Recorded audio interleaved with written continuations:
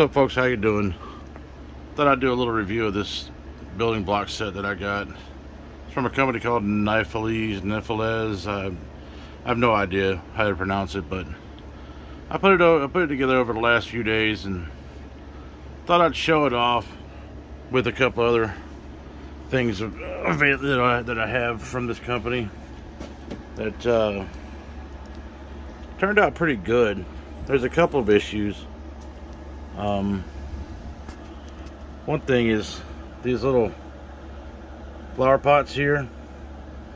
I had to put a couple on the on the deck here because they're supposed to go there, but unfortunately they don't they don't stay on there very well.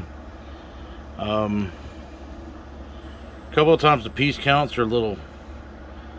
I think I think they inflate the piece count because these arms are two piece arms and you got to put them together. You have to put the hands in them and all that stuff. I mean, it's a little that's a little weird, but overall it's not bad. Had a couple of uh, deformed pieces here. There's a couple of cabinet doors in the kitchen in there. I don't feel like pulling it all apart and everything, but it's way back in the back in the kitchen on the first floor. But they're not that important. But it comes with five minifigs. I think this set probably cost me about a hundred bucks when I bought it. I either bought it in 2020 or 2021. I can't remember. I can't find it on the, on uh, Amazon anymore, so it's probably been retired. But I have another set that I did get recently, and it's up here. And this one cost me $60. And it's a nice little pirate ship. It did have a deformed block and it had one one little deformed block in it that was no big deal. I could still use it, it just didn't work properly. But overall, it's a pretty good set. And for $60, you can't go wrong with that because it's about the same size as the uh, as this set that I have over here. And this is an official Lego set. I think I paid like $300 for that. Now obviously there's a lot more going on there. And I've got light bricks and all that stuff, which I really like, but um, they complement each other pretty well. But, you know, for $60, it's it's it's a pretty good deal. Let me shut this off here. Shut this off. You can see the, those lights really make this thing pop, but that's one thing that uh, I kind of wish they had with some light know, light breaks for these other sets. But that's the only one that I've got lights on anyway. But I have another set up here. And come in these big, heavy boxes. This thing's like 4,000 pieces. And so I haven't put this one together yet. But, uh, you know, like I said, I think these cost me about $100, maybe $130, something like that. But that was a couple of years ago. Um, the pirate ship, like I said, was $60. Damn, this thing's heavy. And I'll put it back up here in a minute. So, yeah, that's pretty much what I wanted to show off. You know, if, if you're a fan of, of uh, Lego, but you don't necessarily have the money for uh, Lego all the time, this is a good alternative because, you know, overall the building experience is pretty well. Um, the the uh, instructions are a little weird. They'll have you bouncing back and forth from you know one side to the other while you're building stuff. You know, and, and they'll have you putting stuff on the deck down here. You know, and then put one or two pieces on on the roof. You know, these roof pieces are all just these one little slats. If I can get this thing off, you know, there's, there's there's single little slats here. So, you know, that's that's how that works. But either way, they'll they'll have you do they'll, they'll be back and forth all the time, you know, over and over, back and forth. So it kind of makes it a little weird. And there's a lot of one, you know, single pieces where I think you could have used larger pieces.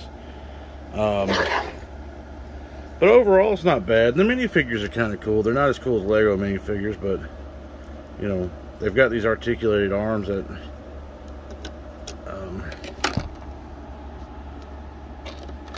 you know the legs and the arms are, are more articulated than a Lego figure the legs will open up a little bit more because they're on ball joints instead of uh,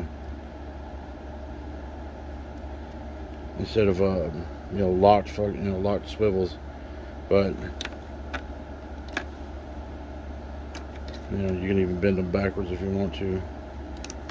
So anyway yeah the, the, the minifigures are kind of cool. They're you know they're not the best but they're not the worst either. You know but the quality on this is pretty good. And and the best thing about this is it's not a knockoff. It's not a it's not a, it's not something stolen from lego it's most likely what it was is a as a MOC that was up, uploaded to um, BrickLink or something like that. I'm not really sure where, where that'd be uploaded to but it's probably a MOC that somebody created and these people copied the MOC, put it up for sale. There may be some ethical issues with that. I don't know. Either way it's a really cool set. I had fun with it and was frustrated as hell by it in some in some areas but you know it, that's the way Lego is you know so this is no different. Um, one thing I could say is that I wish they had I wish they had uh, instructions online. So you go download a PDF and, and actually have the instructions from a PDF so that's what I do with Lego all the times. I'll, I'll download the instructions on a PDF and then uh, and then you know do it on you know have it on my computer screen and just build it that way instead of trying to monkey with a book which really sucks but you know eh, that's a minor inconvenience but anyway I just thought I'd show that off see what you thought and if you're on the fence about this company I would say it's a if if Lego is the gold standard 10 out of 10 I would say these people are like eight, eight and a half out of ten.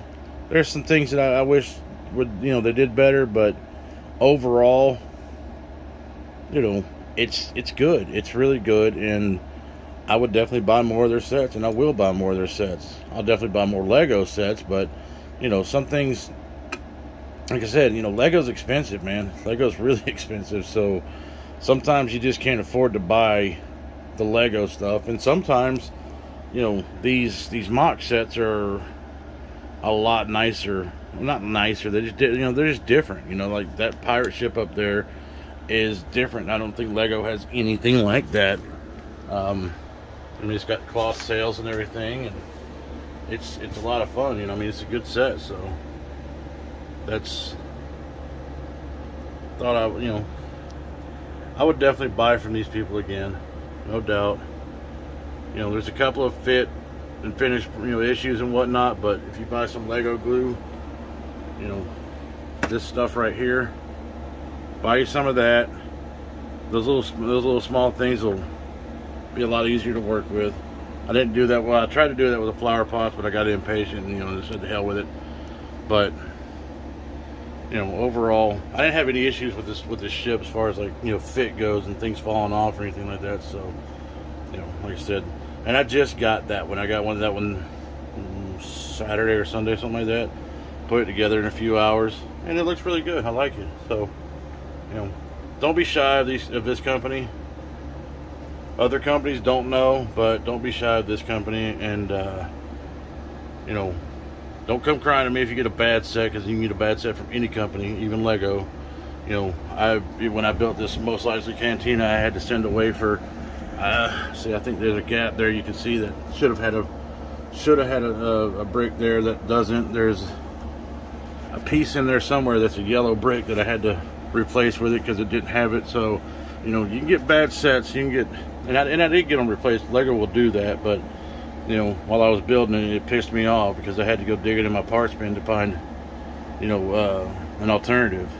So, anyway, like I said, just don't be shy of this company and uh, I'll, I'll leave it at that let me know how you feel in the comments and like and subscribe.